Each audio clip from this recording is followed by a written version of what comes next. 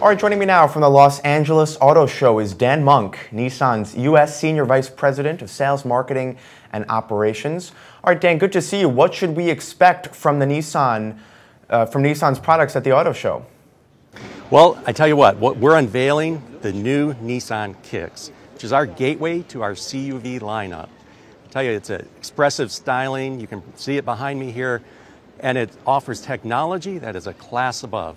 Well, what kind of technology does, it offer? Tell us about some of the features. Yeah, so you know, under the umbrella of Nissan Intelligent Mobility, we think that cars need to be more than just pure machines, but actually personal assistants. So the technology on this vehicle are things like automatic emergency braking with predictive forward collision warning. It also has rear cross traffic alert and the amazing around view monitor. And, and that's just safety technology. We also have integration technology such as Apple CarPlay, Android Auto, and we have a great Bose personal system that actually has eight speakers, including two speakers in the driver head restraint. Yeah, the connected car really coming to life. Now, Nissan dealers are also rolling out an augmented reality experience tied to the new Star Wars movie. Can you explain this initiative? Oh, absolutely. And that's, you know, Star Wars and the partnership that we have with Star Wars, we think is a great platform to showcase Nissan Intelligent Mobility. And so we, we partnered last year with Rogue One. It was a huge success. We're partnering this year as well with The Last Jedi.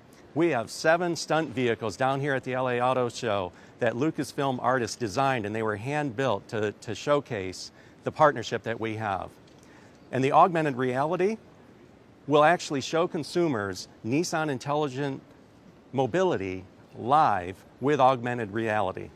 All right, now last month, SUVs and pickup trucks, specifically the Armada SUV, saw a 100% increase in sales. Will SUVs stay strong in 2018?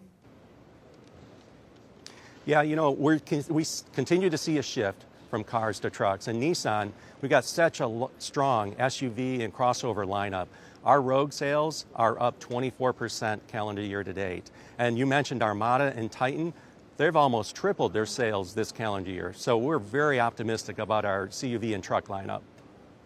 And congressional leaders are making progress on tax reform. Do you expect any money that consumers may save from this to go into the auto space?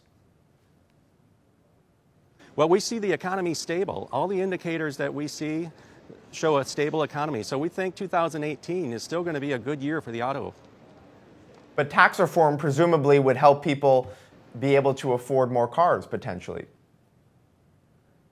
Potentially, for sure. So that's, that's an area that I think just adds to the stability that we see already. So we're optimistic about 2018.